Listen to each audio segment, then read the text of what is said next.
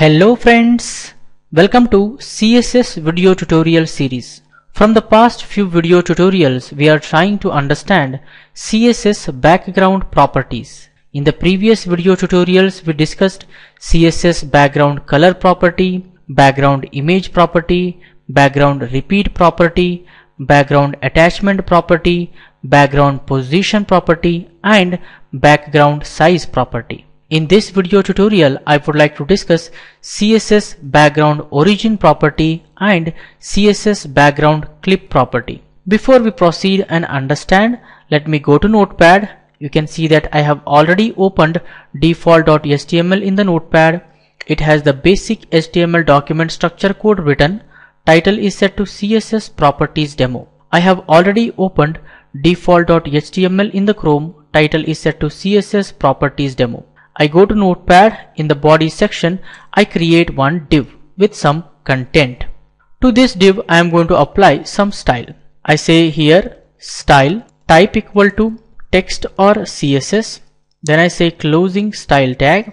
Then I tell to the browser locate any div in this page apply these properties. Width should be 100 pixels semicolon. Height should be 100 pixels semicolon. Background dash color should be magenta semicolon. File save, go to browser and refresh. You can see that a div is created width of having 100 pixels, height 100 pixels and some content is there, background color is set to magenta. I also tell to the system that locate a body or to this web page you need to apply the background color of cyan semicolon file save go to browser and refresh. You can see that the body has the background color cyan. Also you can observe this area that you see here. The space is actually the margin of the body. I'm going to remove the margin of body. Margin 0px file save go to browser and refresh. You can see that the body margin is removed. Hence the div is stick to the wall. It has moved to the left and top right. You can see that Next thing I am going to apply some formatting to the div. I say here add some padding, padding of uh, 10 pixels. File save, go to browser and refresh. You can see that 10 pixels area around the content is cleared. We know that padding indicates the distance between the content and the edge of the element.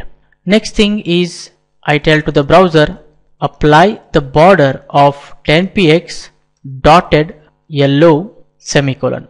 File save, go to browser and refresh.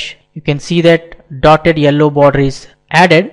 Next I tell to the browser add a margin of 10 pixel around the div. File save, go to browser and refresh. You can see that 10 pixel area around the div is cleared, right? Uh, area outside the border is actually known as the margin. We already know that. As we already know while learning the CSS box model, we understood that every HTML element is a box. It has the four different boxes or components, right? One is the content box, another one is the padding box, another one is a border box, and another one is a margin box, right? Outside the content box we have padding box. Outside the padding box we have border box. Outside the border box we have margin box. Or simply we say content area. Outside the content area we have padding area. Outside the padding area we have border area. Outside the border area we have margin area. Right? Now what I do I apply the background image. To apply the background image. We use css background image property. We use a url function semicolon in between single quotations. We write the image name or image path complete path right? Here i say flower.jpg the image i have at the desktop.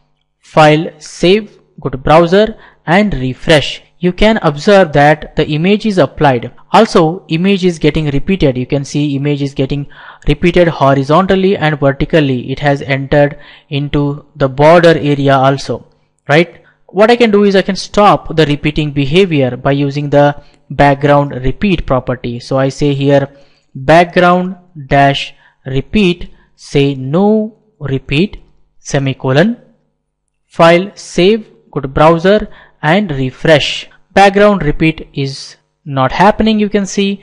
We have only one image right? And also you can observe the image is placed in the padding box right?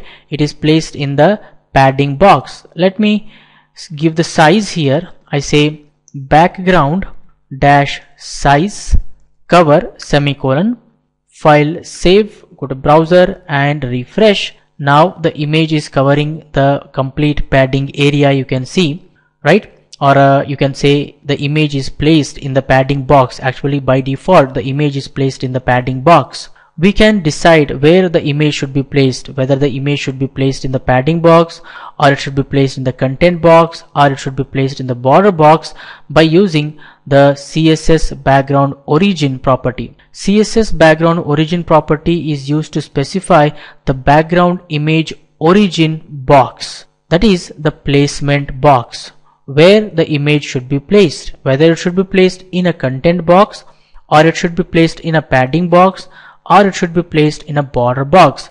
By default, the image is placed in a padding box. Let's see various values and experiment.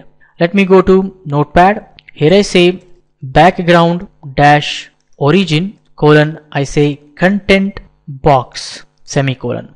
File save go to browser and refresh. You can see that the image is placed in the content box. It is moved inside the content area right? Similarly if I say here padding box that is actually default value of the background origin file save go to browser and refresh. You can see image is placed in the padding box now.